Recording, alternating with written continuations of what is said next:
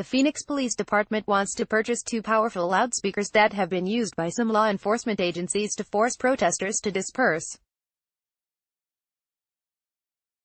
model of long-range acoustic devices, LRADs, that Phoenix police want to buy is capable of producing piercing noises reaching 154 decibels, louder than a jet engine. Humans begin experiencing discomfort at 110 decibels. Acute hearing loss can occur from exposure to noises above 140 decibels.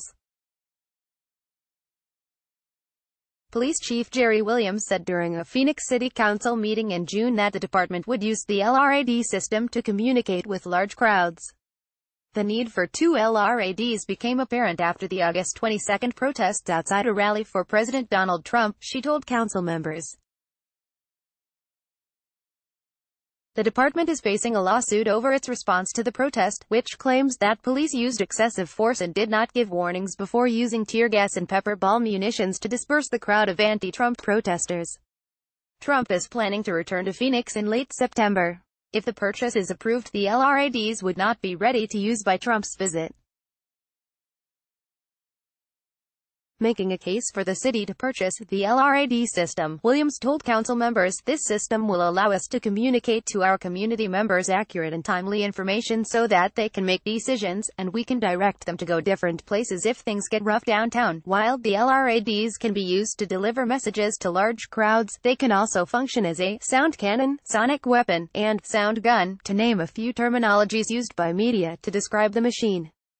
Chief Williams has denied that the LRAD is a weapon, telling city council members in June, it is not a weapon, she could not be reached for comment. Mercedes Fortune, a spokesperson for the Phoenix Police Department, would not rule out the possibility of local cops using the LRAD's pain-inducing deterrent tones to disperse protesters.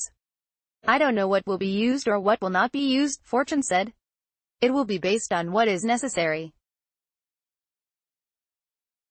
For our purposes, it is for communication purposes only, she added. There are different forms of communication. LRADs have been several police departments to disperse protests using the pain-inducing tones, including during demonstrations in Ferguson, Missouri, and near the Standing Rock Sioux Reservation.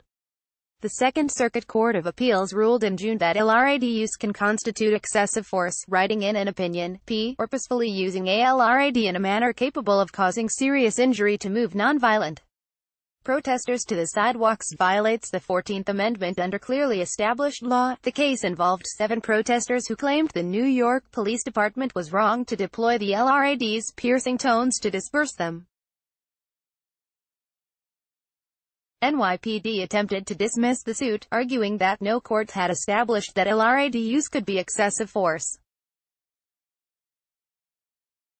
The specific model of LRAD that the Phoenix Police Department wants to buy, the LRAD 500X, would cost $43,134 for two. The department currently has in stock much one much smaller LRAD machine, the LRAD 100X, which Williams told council members was not effective for communicating with protesters during the anti-Trump demonstration. The LRAD 100X also has the capability to produce the piercing noise, though not as loud as the 500X. Phoenix Police's official after-action report from the August 22 protest suggests officers only used the LRAD to give instructions to the crowd. Tempe Police Department has one LRAD that it mounts on top of a tactical vehicle, a spokesperson for the department said. Tempe Police gave a demonstration of the device to Phoenix Council members on August 22. The City Council's Public Safety and Veterans Committee is scheduled to vote on whether to recommend approval of the LRAD purchase on September 12. After that, the proposal is likely to be brought before the full council.